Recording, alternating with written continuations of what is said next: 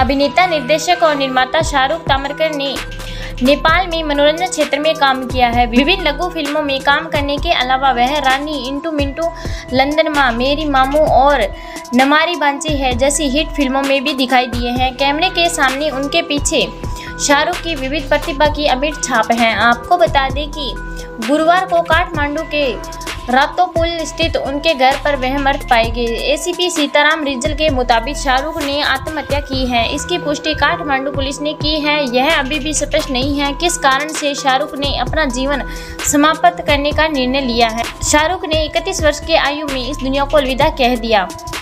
नेपाल के मनोरंजन क्षेत्र पर एक गहरा प्रभाव पड़ा है। आपको बता दें कि उनकी मृत्यु तक वह हैशटैग माया फिल्मांकन दल पर एक महत्वपूर्ण हिस्सा थे। धन्यवाद दोस्तों इस खबर को लेकर आपका क्या कहना कमेंट में ज़रूर बताएँ और कमेंट बॉक्स में उनके लिए ओम शांति ज़रूर लिखें और अगर आप हमारे चैनल पर पहली बार आई हैं तो सब्सक्राइब कीजिए बेल आइकन जिससे कोई भी नई अपडेट आप तक पहुँच सके।